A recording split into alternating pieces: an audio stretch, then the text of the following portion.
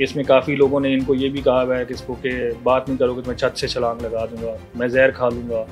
और काफ़ी लोगों ने अपने अस्पताल से पिक्चर्स भी इसको शेयर की हुई हैं कि मैं तो हॉस्पिटल एडमिट हो गया हूँ, तुम अगर चार दिन से मेरे साथ तुमने बात नहीं की। मॉडस ऑफ़ ट्रेंडी भी इन्होंने बनाया हुआ है, वो ये ज़रूरत रिश्ता की जो एप्लीकेशन है, वहाँ पर जो भी लोग रिश्ते के ख्वाहिशमंद होते हैं, उन्होंने अपने नंबर दिए होते हैं। ये उन्हीं लोगों को रबते करते हैं जिनको रिश्तों की ज़रूरत होती है। इस दिन हमने इसको गिरफ़्तार किया, उस दिन भी एक बंदा लाहौर से जो है वो आ रहा था। रास्ते में था। तो ये बताती है कि मैं उसके जो बदियल शहर है जो मेन उधर का डकैत है उसके निकाह में हूँ। तो हमने इसकी फिर इंटेरोगेशन की। जब इंटेरोगेशन की तो इसने इंकशाफ किया कि ये उन्होंने बोला कि हम तुम्हें पैसे देंगे। अगर तुम हमारे लिए वीडियो कॉल पे बात करोगे। डिजिटल पाकिस्तान की वीडियोस देखने के लिए हमारा चैनल सब्सक्राइब कीजिए और बेल आइकॉन को प्रेस कीजिए ताकि आप हर वीडियो से बाखबर रह सकें। असलम नाजरीन, आपका मेज़बान राना मोहम्मद नुमान आपकी खिदमत में हाजिर है। आप देख रहे हैं डिजिटल पाकिस्तान। नाजरीन, एक बड़ा मशहूर वाक़ है जो कि पूरे पाकिस्तान भर से लोग इसका शिकार हो रहे हैं। कच्चे के डाकू के हवाले कर दिए जाते हैं शहरी। एक खातून मुलजमा anti violent crime cell C I A Karachi ने जो है मुलजमा को गिरफ़्तार किया है। उसने होशरबा इंकशाफात किए हैं कि कितने शहरियों को अब तक कच्चे के डाकों के सुपुर्द किया है। ये खातून किस तरह से करती थी, जो अब तक की अब इब्तदाई तहकीकात में मालूम हो चुका है कि ये दोस्ती के बहाने जो है लोगों को कच्चे के डाकुओं के मकाम पर बुलाती थी, उसके बाद उनके सुपुर्द कर दिया जाता था। वो लोग उस पर तशद करके उनके अहल खाना को जो है, वो वीडियो सेंड करते थे और भारी तावान तलब करते थे। ये पूरा वाक्य क्या है, इसकी तफसील जानने के लिए हम anti violent crime cell CIA Karachi के एसएसपी अनिल हैदर साहब के साथ हम मौजूद हैं। इनसे जानते हैं कि मुलजमा को कैसे गिरफ़्तार किया और इसके पीछे ये पूरा नेटवर्क किस तरह से ऑपरेट होता है। बताइएगा ये तफसील की ये किस तरह से ये खातून मुलजमा को गिरफ़्तार किया क्योंकि ये एंटी वायलेंट क्राइम सेल की जो है ये एक बहुत बड़ी कार्रवाई है क्योंकि मुतद शहरी इसका जो है शिकार हो रहे हैं इसमें एक अवेयरनेस की भी कमी है और ये पूरा नेटवर्क किस तरह से चलता था सर? अच्छा इस इसमें इस तरीके से है कि हमें एक लीड मिली है कि एक जो है वो जो कश्मीर के जो कुछ डकेत हैं, उन्होंने कुछ सिम टी सी एस किया है यहाँ पर कराची की किसी खातून के नाम पर। तो उस लीड के ऊपर हमने काम किया, फिर हमने इसकी गिरफ्तारी की। गिरफ्तारी करने के बाद हमने वो सिम भी एक्वायर की। हमारे पास इनका, क्योंकि प्रीवियसली भी डेटा बेस था, इनके नंबर वगैरह थे, इनके ऊपर हम काफ़ी अर्से से काम कर रहे हैं। तो हमने इसकी फिर इंटेरोगेशन की। जब इंटेरोगेशन की तो इसने इंकशाफ किया कि ये उधर कच्चे के डाकुओं के साथ मिलकर हनी ट्रैपिंग में मुलवस है। और ये वीडियो कॉलिंग का काम करती है, उनके लिए सहूलतकारी जो करती है, वो इसको कहते हैं कि आप वीडियो कॉल पे इस बंदे के साथ बात करो। तो ये वीडियो कॉल पे उसके साथ बात करती है। उसमें उनका मॉडस ऑपरेंडी ये है कि उसमें कुछ लोग वॉइस चेंजिंग ऐप्स लगा कर वहाँ से कश्मोर से बातें करते हैं। और जब उनको कन्विंस करना पड़ता है किसी को कि वाकई कोई खातून बात कर रही है तो वो इनको बताते हैं कि आप वीडियो पर आ जाओ और इस बंदे को मैसेज करो कि ये इधर आ जाए। तो ये यहाँ से बैठ के पूरे पाकिस्तान में के पी के से पंजाब से, सिंध से लोग जो है वो इन्होंने वहाँ पर कच्चे में भेजने में ये सहूलतकारी करते हैं, ताकि लोग कन्विंस हों कि ये वाकई किसी औरत से बात करें। अब ये नंबर लेते हैं, इन्होंने एक एप्लीकेशन डाकू ने बकायदा इसको मॉडस ऑफ़ फ्रेंडी भी इन्होंने बनाया हुआ है। वो ये ज़रूरत है रिश्ता की जो एप्लीकेशन है, वहाँ पर जो भी लोग रिश्ते के ख्वाहिशमंद होते हैं, उन्होंने अपने नंबर दिए होते हैं।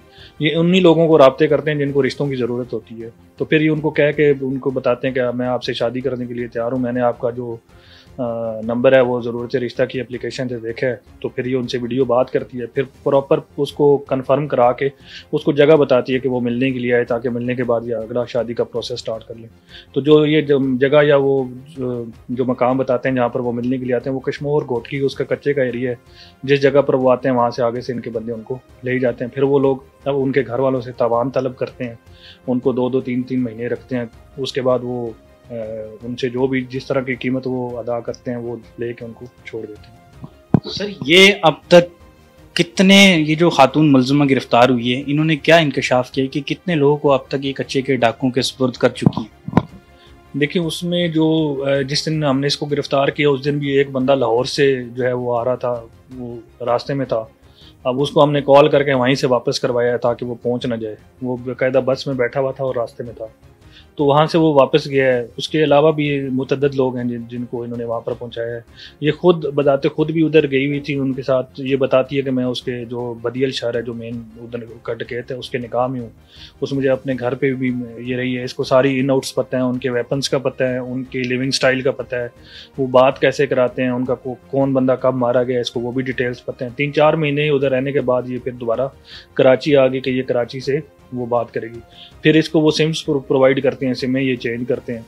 और यहाँ पर क्योंकि ये ऐसे लोगों को टारगेट कर सकते हैं जो पढ़े लिखे लोग हैं तो ये इस तरह बातचीत करके ये उन लोगों को कन्विंस करते हैं। जैसे ये खातून मुलजमा जो गिरफ़्तार है ये इन कच्चे के डाकुओं के साथ कनेक्ट कैसे हुई?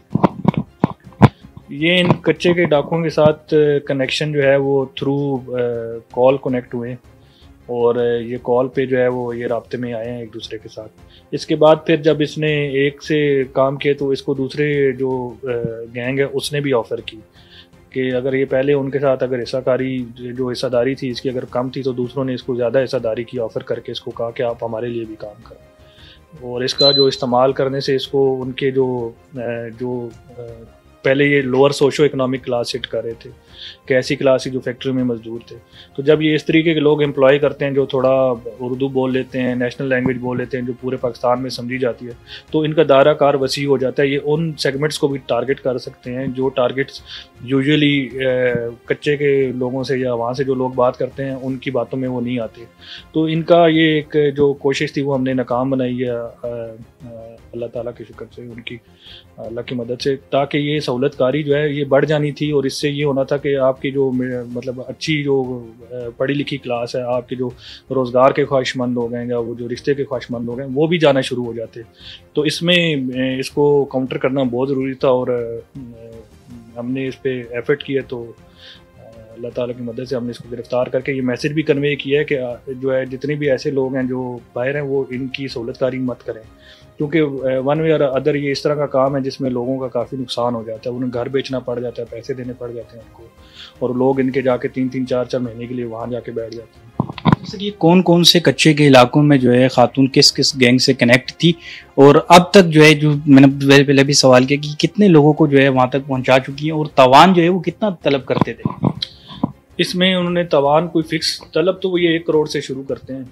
एक करोड़ तलब करते हैं फिर आगे से ये उसके बाद कैपेसिटी देखते हैं पोटेंशियल देखते हैं बंदे का क्योंकि वो खातून से बात करते हैं तो खातून को जो शादी करने वाला बंदा है वो हर चीज़ बताता है। वो ये भी बताता है मेरे पास घर है मेरे पास गाड़ी है जाहरी बात है जब वो रिश्ता ढूंढ रहे होते हैं तो अच्छी चीज़ें बताते हैं। हो, सक, हो सकता है वो एक दो तीन ऐसी चीज़ें भी बता देते हैं जो उनके पास नहीं होती।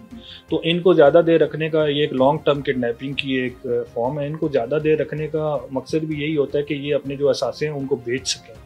अगर इनके पास ट्वेल्व फोर रेडी कैश नहीं भी है तो ये इनके पास इतना टाइम मौजूद हो कि वो उनको बेच के अपने वो पैसे जितने भी हैं वो पूरे करें। मीन वाइल वो मोनिटर करते रहते हैं इनको कि ये बंदा इसकी पेइंग कैपेसिटी कितनी है और ये कितना कर रहा है। और वो ये भी करते हैं कि अगर वो इनका तवान तलब करते हुए एक बंदे के साथ रबते में है तो वो दो तीन बंदों के साथ रबता करते हैं जिनसे वो तवान मांगते रहते हैं। जब वो देखते हैं कि एक बंदा इनकी बातों में वो तवान ज़्यादा नहीं कर रहा तो वो दूसरे को टारगेट कर देते हैं। तो उस बंदे से जो मिसाल के तौर पर एक बंदे का भाई इनके साथ रबते में है, उसके चचा से भी तवान मांगेंगे और उसके वालद से भी मांगेंगे। अगर वो ये देखेंगे कि उनका भाई उनको ज़्यादा ऑफ़र करा रहा है और थोड़ा वीक पर्सनैलिटी का है या जिसको इनकी समझ नहीं आ रही तो वो वालद और चचा को छोड़ देते हैं और भाई पे फोकस कर लेते हैं। फिर वो भाई से ही रबता करते हैं, क्योंकि उन्हें पता है कि हम उसके साथ रबता करेंगे तो तभी हमें जो है वो पैसे जो है वो अच्छे मिलेंगे, क्योंकि ये बंदा हमें ज़्यादा की ऑफ़र कर रहा है। तो ये इनका एक टेक्निकल सा काम है, जिसमें इन्होंने विद द टाइम थोड़े से एक्सपर्टीज़ अपनी प्रोफेशनल डेवलप की हुई है। लेकिन अल्लाह के हुक्म से, क्योंकि ये क्रिमिनल काम है तो इसका एक एंड भी ऐसे ही होता है, जो एक क्रिमिनल का होता है ये ज़्यादा देर चीज़ें चलती नहीं हैं तो ये एक्सपोज हो गए हैं। सर कितनी खातन इनके साथ हैं जो खातून मुलजमा हैं? इन्होंने कोई इंकशाफ किया? कितनी खातन मजीद हैं जो कराची या दीगर सूबों से जो है वो इनके साथ कनेक्टेड हैं जो इनके लिए ये काम कर रही हैं? इसमें एक दो का हमें डेटाबेस में से खातून को क्या कितना मुआवजा अदा करते थे एक परसेंट के लिए? ये ट्वेंटी फाइव से ट्वेंटी फाइव परसेंट तक इन्होंने इसकी जो रिपोर्टेडली हमारी इतला है उसमें की है। बाकी अब मजीद इंटेरोगेशन में हमारे एक दो और भी खातन आई हैं जिनका जिनके ऊपर हम काम कर रहे हैं। और ये ना सिर्फ़ सिंध में ये बल्कि पंजाब में से भी इनकी सहूलतकारी जो वहाँ के रीजन है, वहाँ से भी इन्होंने एम्प्लॉय की हुई है। तो ये इसमें जो नेटवर्किंग में जो लोग आए हैं, उनको इन हम उनके लिए भी गिरफ्तारी मतवक़ है कि हम जल्दी करें। अच्छा सर, कहाँ, किस सूबे के ज़्यादा लोग जो है वो उस तरह भेजे गए हैं?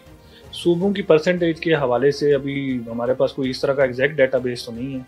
लेकिन हम जो है वो ये कह सकते हैं क्योंकि वो बॉर्डर के ऊपर बैठे हुए हैं। बलूचिस्तान, सिंध, पंजाब का वो बॉर्डर है। तो वो हर जगह कोई तकरीबन इफ़ेक्ट कर रहे हैं, कोई इधर से सिंध को भी कर रहे हैं। पंजाब से भी काफ़ी लोग हैं उनके पास और के पी के से भी लोग आ जाते हैं।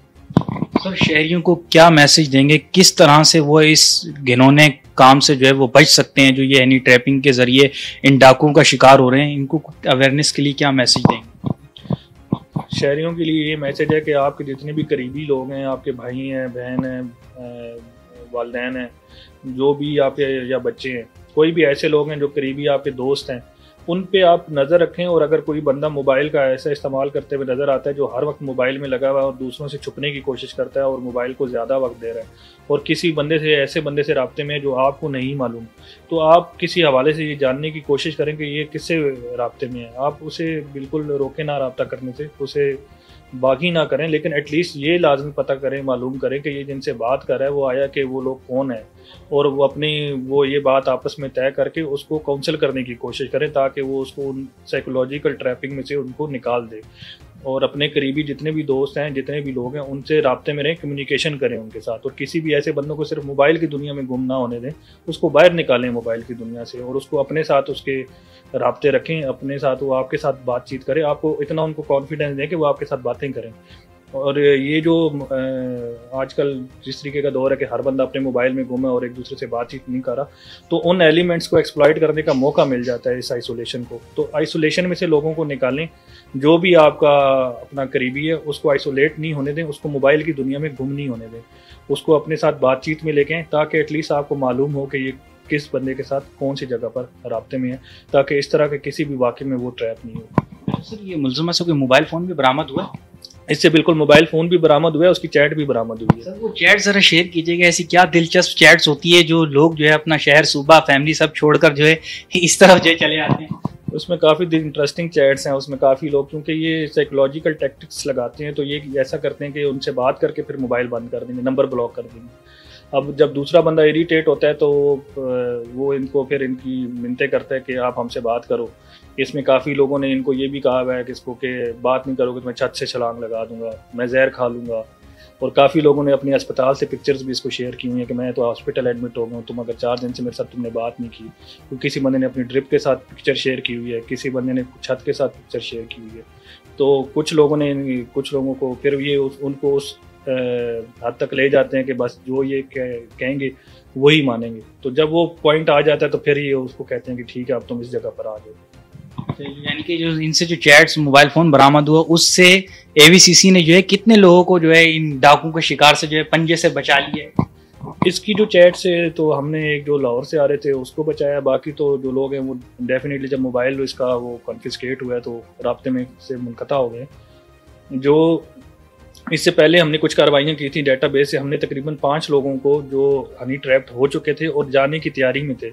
उनको हमने बाकायदा अपना प्रोसीजर अडॉप्ट करते हुए उनको घर से लेके, तरीके से लेके आए, क्योंकि लोग इतना ट्रैप हो चुके होते हैं कि वो पुलिस से भी ताउन के लिए तैयार नहीं होते।